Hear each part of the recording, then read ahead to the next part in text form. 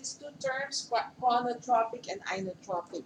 So you have drugs that or or conditions that affect anything will either affect the chronotropic or the inotropic property of the heart or even both. Let's practice. Because I remember in the test there was a section that will ask you, uh, can you tell me if the following will have a chronotropic or an inotropic effect and will it have a positive or a negative effect? Let's say oh, we talked about calcium channel blockers. So calcium blocker. Calcium channel blockers. So will this have what do you think? Will this exert chronotropic or inotropic? Inotropic pumping, right? So will it ex- if it's a blocker, will it exert a positive or a negative effect? Uh, no, negative. It will slow down. So positive means it will increase it. Negative means it will slow it down. So if it's a calcium channel blocker, it will exert a negative inotropic effect. You understand? I will ask you this in the test. So that's what if you're let's say people who are hypertensive or maybe tachycardia, you give them calcium channel blockers to slow down the heart rate. Slow down. These are people maybe you have increased resistance here. You want them to slow that down. How about uh, let's say increased blood volume. So there's a lot of blood. Will that exert an inotropic or chronotropic? If there's a lot of blood, what does the heart have to do? If there's a lot of blood, pump stronger. You can write pump faster. If it's pump faster, it's chronotropic, right? Positive. Don't you think that increased blood volume will also make it pump stronger, right? So I'm gonna write inotropic, positive also. How about um, okay, beta blockers. Beta blockers, what are beta blockers for? They slow down the heart rate. Beta blockers are given to slow down the heart rate. So it's chronotropic negative. Okay? People who are losing blood, hypovolemia. They lost a lot of blood. What will a hypovolemia episode do to the heart? What did you say? Speed up? Okay, so I'm going to write chronotropic positive. It will cause a positive chronotropic effect. Why? Because you want to compensate. You if you lost a lot of blood, your tissues still need supply, so you're gonna pump faster to deliver. About maybe if you pregnancy. So people who are pregnant, their blood volume doubles because they have to supply for the baby. So this one is the same as this one. Okay? Will you be able to answer that section in case it comes out in the test? Okay? So just always just think first. Remember, the reason you're asked that portion of the test, I think, is to remind students about the two parts to the heart. And to remind you that we treat the heart two ways. You want to help the beating part and you want to help the pumping part, the heart rate and the pumping. So, how do you uh, look at the heart rate part of the heart? You use an EKG. So, the EKG uh, is a measurement of the electrical activity of the heart, electrocardiogram. When the heart fires, it gets picked up as waves. Okay? So there's the typical waves, you have the P wave, the QRS, and the T wave. So this wave is the depolarization. You remember with neurons, When they depolarize, then they fire. So this measures the pacemaker. Remember this part over here?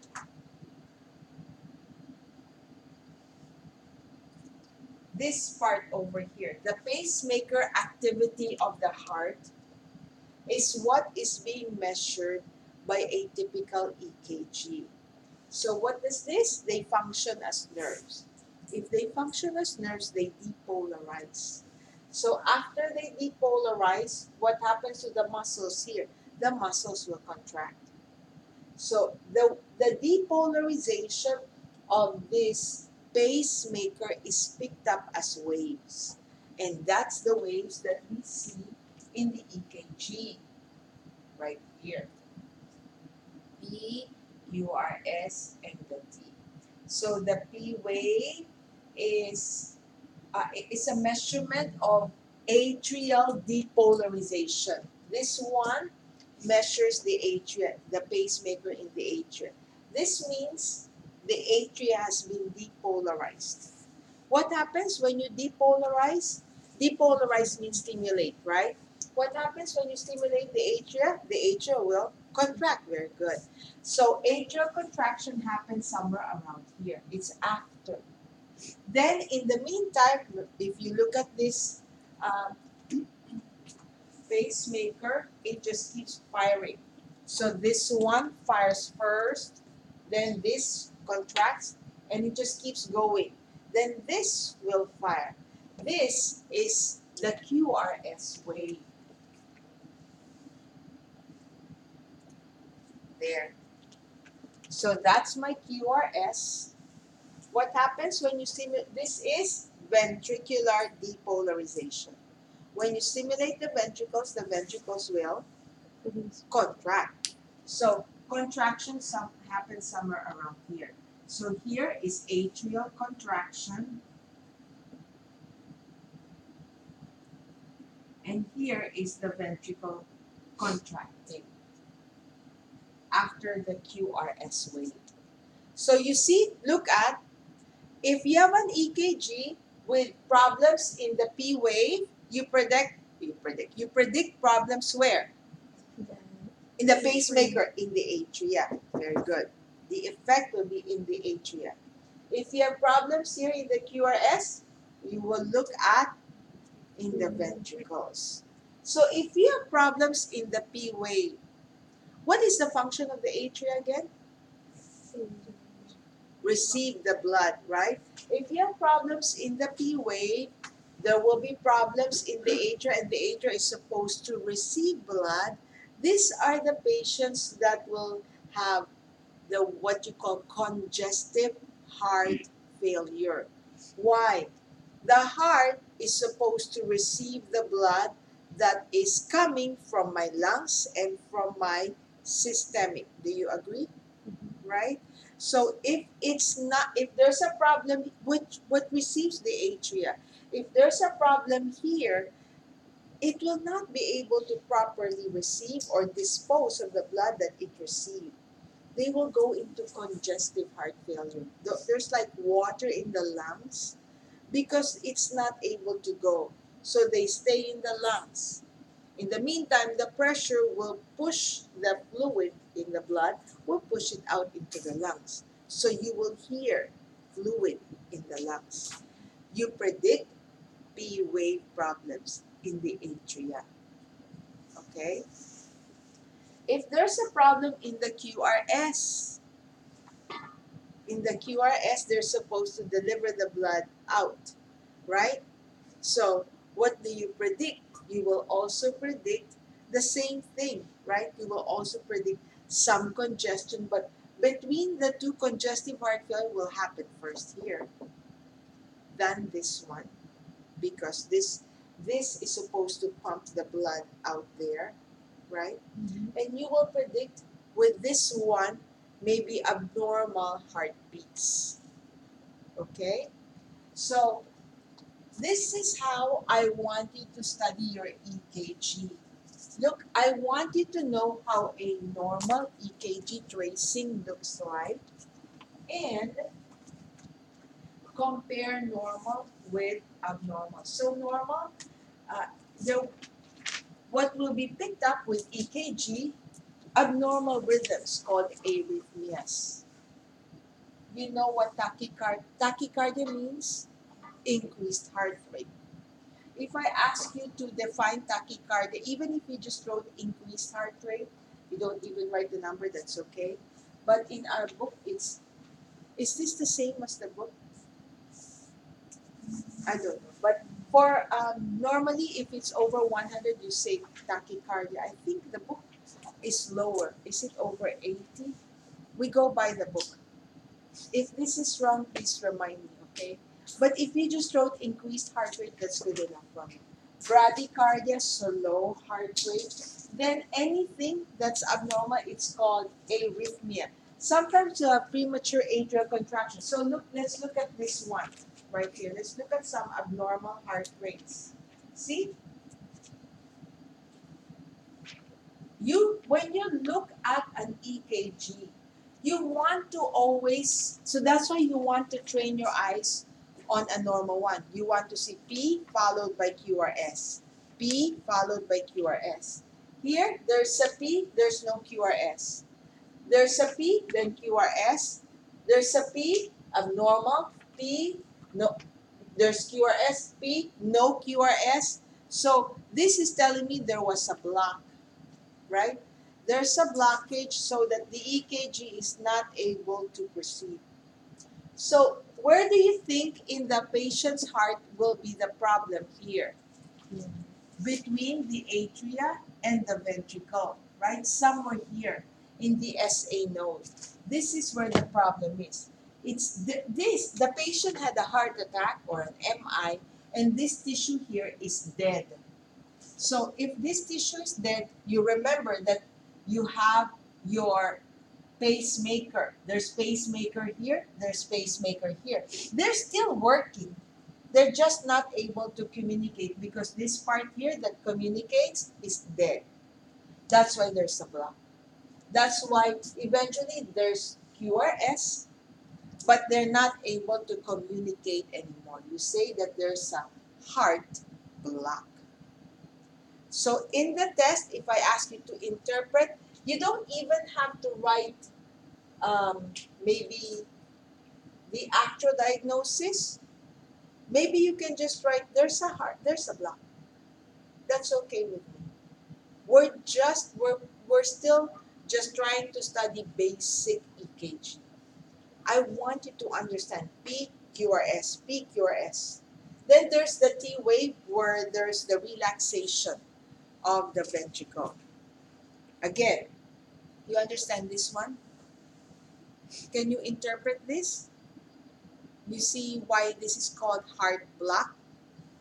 What do you think? You see the P, right? There's no QRS. So, but then sometimes there's a QRS, it's still able to move. So there is a blockage still. Heart block. Look at with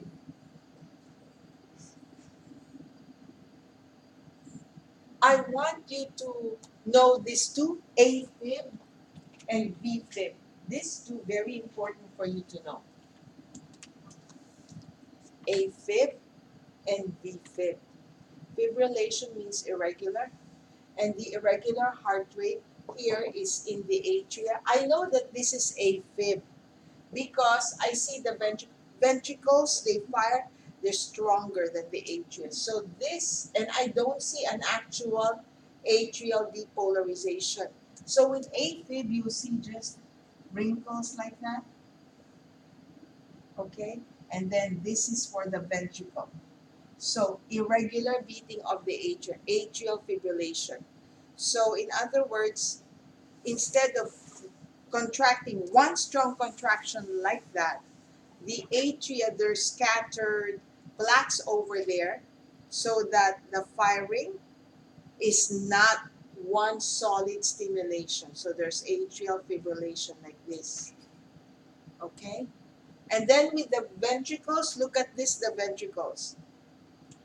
Ventricle See, the thing about fibrillation is it's like tremors, it's not able to contract powerfully. Which of the two is more dangerous, AFib or VFib? What do you think? Huh? VFib, very good. Why is VFib more dangerous than AFib? That's very good. Because the job of the ventricles is to deliver blood to the rest of the body. So if you see a patient, you hook an EKG, one thing you at least I want you to take home from Bio 242 is just having a sharp eye between this and this.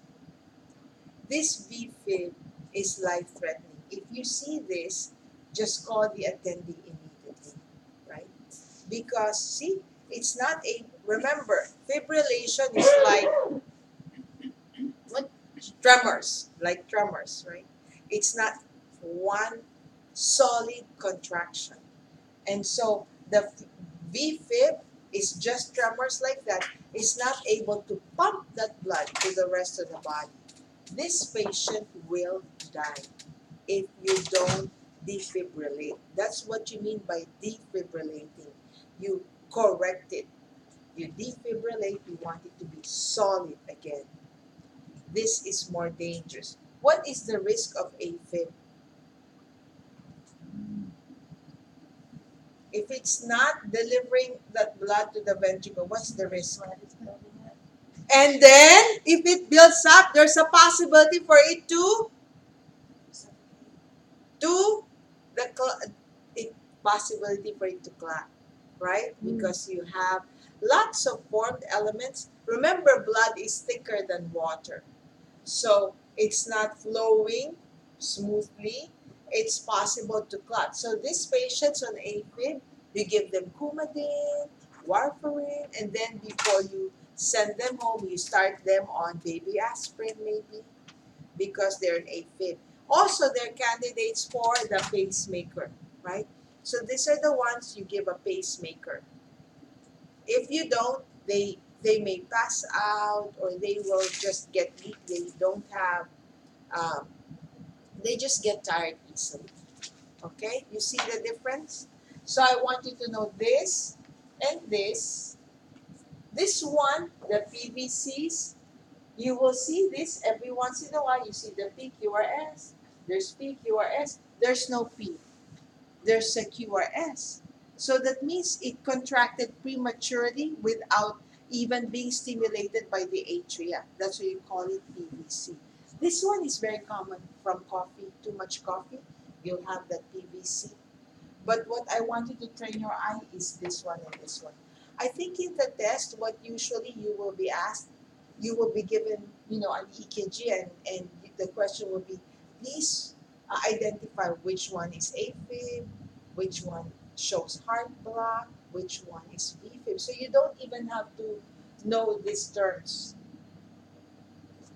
So when you see this word bundle branch block or complete heart block, so it's just telling you where in the heart is the location of the block.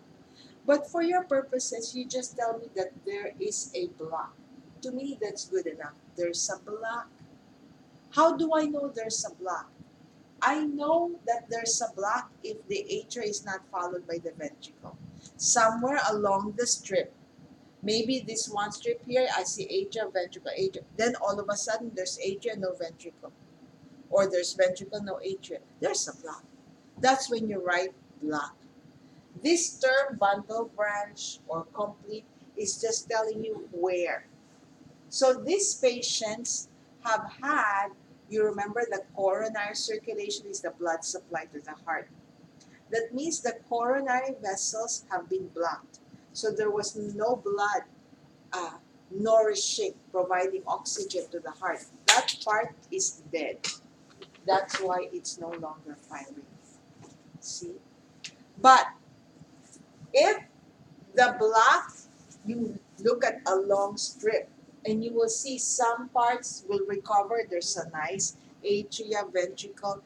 This means that the coronary circulation, there's still blood supplying the heart of the patient. As far as coronary circulation is concerned, do you have any questions on this? I'm going to give you EKG tracings. Just practice so you're able to practice. Don't worry about So look at this one. See? I see P, QRS. P, QRS. Look at this one. Do you see P? No. No. I just see QRS. No P. So this, I say blockage. There's a block. Okay? Um, between the two, which do you want, which do you prefer? The, which do you prefer to see? The P or the, of course we want them both to be present. But, which one do you prefer to see if there's anything abnormal? I would prefer to see this one, right? This is the ventricle. The atria, see, look at, the atria is on top and the ventricle is below. By gravity, that blood in the atria will eventually drop to the ventricle. But if the ventricle is dead, it has to pump out. And the direction of the pumping out is that way. So I prefer to see healthy QRS. With the P wave, at least I can solve that one. But this one is very hard to treat. Okay. You want to give them the chronic tropical. So what is this one? Without even looking at the diagnosis, that that's very good. It's the V fib. I see nice waves, but there's no rhythm. V fib. Okay? So see?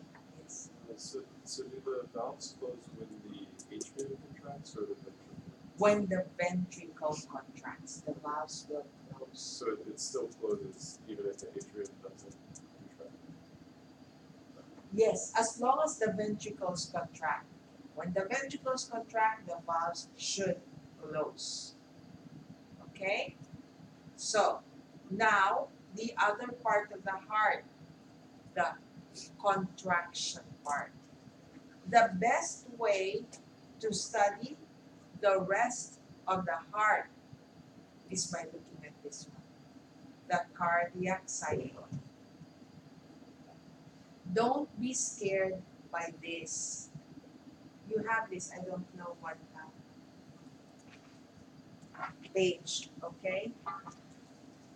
So look at this part right here. This is just combining both.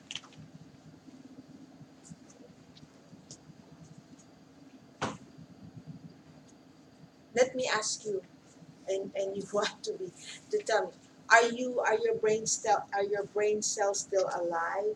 What do you think? Will you still be able to appreciate? We'll end here, okay? It's uh this one is not that hard to appreciate. We're going to review this again on Wednesday. This is it, and then we do our blood slides. Look at there's your EKG over here. The P is stimulating your atria, very good. And the QRS stimulating your ventricles. Okay, so I'm gonna look at this one.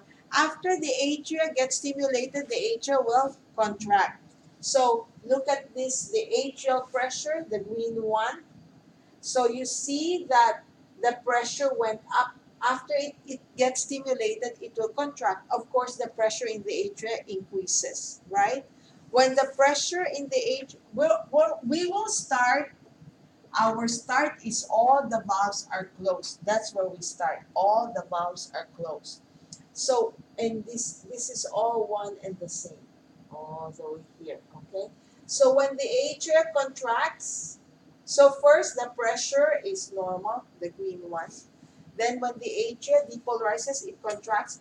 The pressure in the atria increases. You see the bulge up there.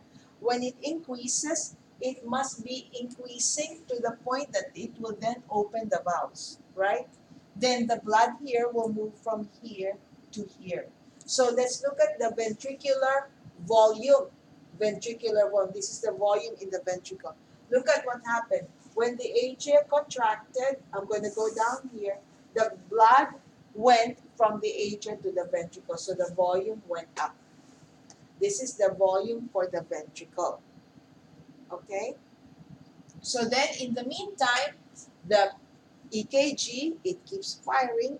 Then the ventricles will get depolarized, right? What happens when the ventricles get depolarized? They will contract. So look at the ventricle, the ventricular pressure. See, after the QRS, the ventricle pressure goes up. When the ventricle pressure goes up, because it's contracting, it's contracting and it just received all of that blood from the atrium. Received all of that blood. It will contract. It the pressure will go up so that the first thing that happens is it will close this valve. The valve is down, the, the ventricle contracts, it will push the blood so the, the AV valves will close. And that's what you will hear. See, after the pressure going up, you hear the first heart sound. The heart sound detects closing of valves. So the first heart sound is because of closure of your AV valve. The AV valve closes, and enough enough pressure. If this closes, another valve must open because it contracts to push away blood. It's going to open the semilunar valves, meaning the pulmonary artery or the aorta. So eventually, when it contracts, the pressure goes up. It will contract enough to release all of the blood that it received, deliver it to the lungs or the systemic. Look at the volume. The volume in the ventricle went down. Where did it go? It went to the lungs and to your systemic. Okay? So the blood is now there. So in the meantime, the ventricles will relax, to go into diastole, and another round happens. So this cardiac cycle looks scary, but it really is not. If you know this, if you master this, you already know about your heart. You know all the story about your heart. Then you just look at the abnormal EKG. That's it. It's very easy. There is a point, remember, I said there is a point where all the valves are closed. You always start with all the valves closed. When all the valves are closed, then you increase the pressure in the atria or in the ventricle when all the valves are closed. You're increasing the pressure. That's what you mean by isovolumetric. You don't change the volume. The only way to change the volume is to increase the pressure. Increase, increase the pressure until you overcome the resistance you're going to push open. But initially, the volume does not change. That's why you see the word isovolumetric. Isovolumetric contraction, isovolumetric relaxation. One more time. I'm going to start. There's my right atrium, left atrium, right ventricle, left ventricle. And then from the right ventricle, you have this is your pulmonary artery. Left ventricle, you have your aorta. So I'm going to start with all the valves closed. All valves closed.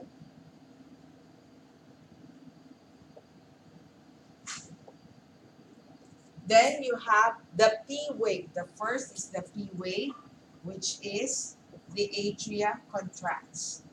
So when the a- first it received blood, of course, it received blood from your veins, from your superior, inferior vena cava, and your pulmonary veins. So it received blood. So it gets filled with blood. Then the P wave happens. The P wave results in contraction of the atrium. When it contracts, it's going to increase, increase, increase pressure until the valves, the AV valves open. So the blood moves from here to down here in the ventricles. In the meantime, the next wave is the QRS. So the QRS will stimulate my ventricles. So what happens? They contract. When they contract, increase the, the turbulence from the blood will close these ventricles. Uh, so the AV valves. So there is a point where this is contracting, but the volume stays, called isovolumetric contraction. You have to increase the pressure a little bit more to open this. That's the only time that the blood from the ventricle uh, is released into your pulmonary artery and your aorta. That's called the stroke volume, meaning each stroke, each heartbeat. So the blood left. And then you repeat the process again. That's why it's called cardiac cycle. Again, the only time you will appreciate this, uh, no, the only way to appreciate this is to keep on looking at it and looking at it. And you just start with the EKG and then you finish your story with looking at what happens to the atria and then the ventricles, comparing pressure and volume. Include these heart sounds. These are the sounds that you hear. So, I want you to know these terms palpation, percussion,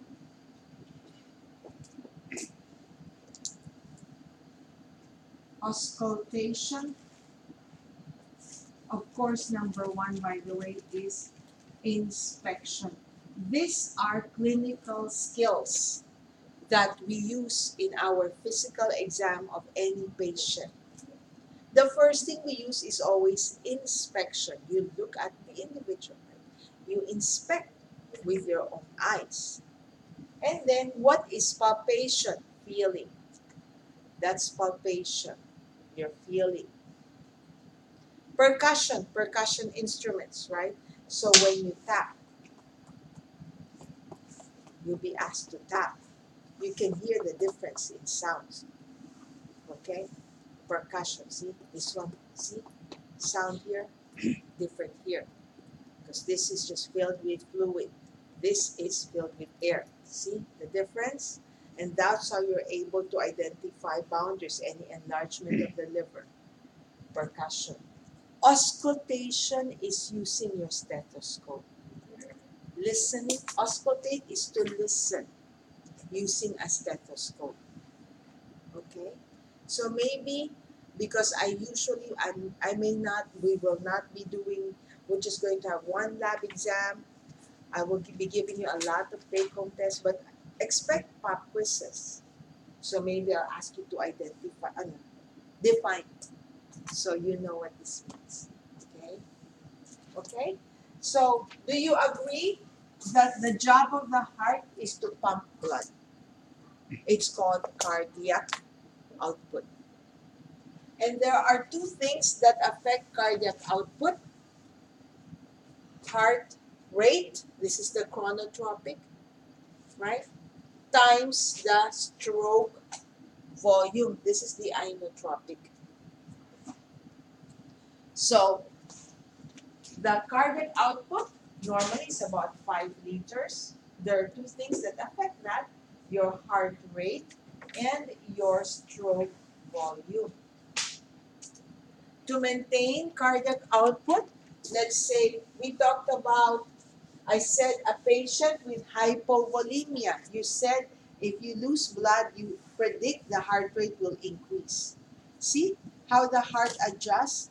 The heart will adjust to maintain this normally. People with, uh, let's say, too much blood volume, how does, if this blood volume increases, then this one will slow down. The goal is to maintain cardiac output. I remember in the past, students were asked to compute for the cardiac output or whatever. You just need to know this cardiac output is equal to stroke volume times the heart rate. Let's say you're given this cardiac output, you're given the heart rate. You can find out the stroke volume, right? This, the volume of the heart, there are things that affect this one. The preload the contractility, and the afterload. We'll talk about this on Wednesday. For now, I want you to, so how many, one, two, three, four, five, six, seven,